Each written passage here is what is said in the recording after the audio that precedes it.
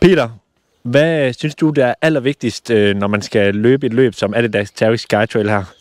Lige præcis herude, der gælder det om at være ultra disciplineret. Man skal simpelthen passe på med ikke at gå med andre og lade sig rive med.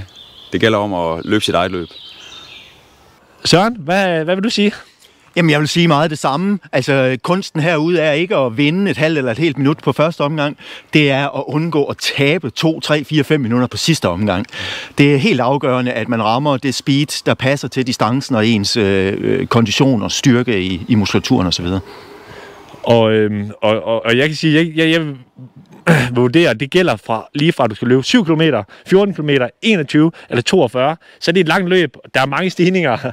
Hvis du er motionist og starter for hårdt ud, så er du flad på den sidste, og så får du, et, en, en, så får du mur, rammer du muren op af H.C. Andersens bænk her, som man slutter af på, selvom man, øh, øh, ja, det er ligegyldigt, om man løber 7 eller, eller, eller 42, så er den hård til sidst heroppe af, hvis man har, især hvis man disponerer forkert.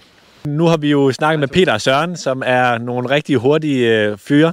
Hvis man skal er, er en helt motionist og gerne vil være med til det her, hvad, hvad tænker du så er det vigtigste i forhold til, til, til løbet? Jamen, jeg tænker, det vigtigste er, er jo at sikre, at man får en, en god oplevelse hele vejen rundt. Øh, de to andre, de er jo super god form. Det er jeg ikke.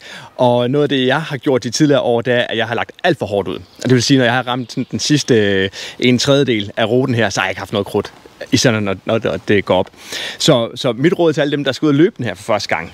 Klassisk vil det være 7 km. At man tager løb ned, løb når det går lige ud. Når det går op af, gå. Hvis I er usikre på, hvordan det er at løbe op af de her stigninger her, så gå, fordi det kommer til at koste jer så meget, hvis I prøver at løbe. Og i starten har man tendens til at løbe, fordi man har friske ben. Det backfire bare så meget i slutningen.